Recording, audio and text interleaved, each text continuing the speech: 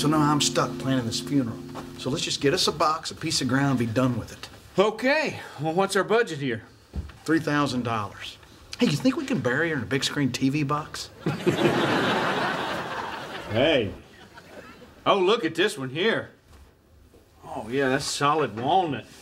Looks like a tight grain, hand rubbed. Oh, buddy, I believe this is the one you need to go with.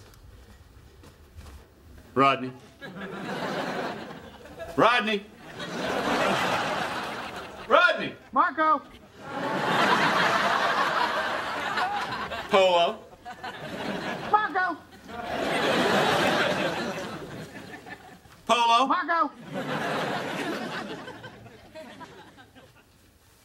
Marco. Ho-ho! All right, I've got you. Come out of there. Hey, Bert, hurry, I'm stuck! Well, try pushing. I am pushing, but quit sitting on the lid! Why would I be on the lid? Because that's what I'd be doing if you were in here! Look, stop talking. Take short breaths. You're, there can't be a lot of oxygen in there. Damn it, Barry, get me out of here! You probably used up half your oxygen right there. Rodney, I don't know what to do. Rodney? Rodney! You told me to quit talking! I don't want to end up like this, Barry! Sir, could you help me? Uh, my, my buddy fell in and it got stuck. Oh, buddy. What kind of coffins are you selling? How come there's not a latch in there? And where's the light? It's scary in there. Funny, we've never had any complaints before. Might I be of some assistance? Yeah, we're planning a funeral. My aunt died. I'm terribly sorry for your loss. At times like these, it's Yeah, important. yeah, yeah, you can stop all that crap. I didn't know her. what kind of deals you got? Well, the Platinum Chariot package includes a mahogany casket, burial arrangements, pallbearers, clergy, and embalming. Okay, great. We'll write that up. Now, how would you like to pay? Third party out of state check. Uh-huh.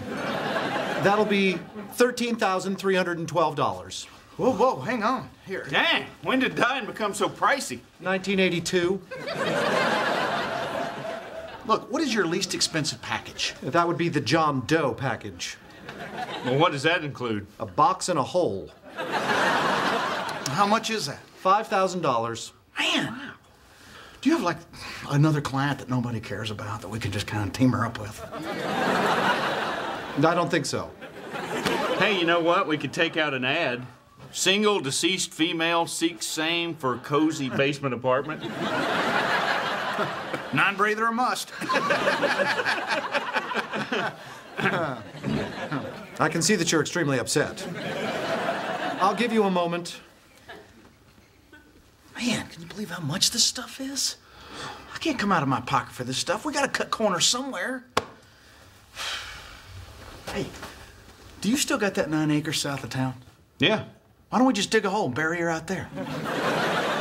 Buddy, that's not burying a loved one. That is disposing of a body. I gotta think of something.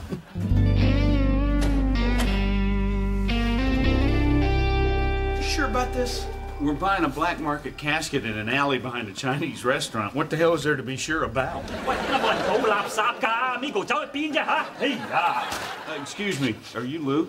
You police? No. No. Health department? No. Private dick? No. Then I'm Lou. What do you want? Uh, we're the guys that called about the casket. Over here. That's it? No, it's the box the casket came in.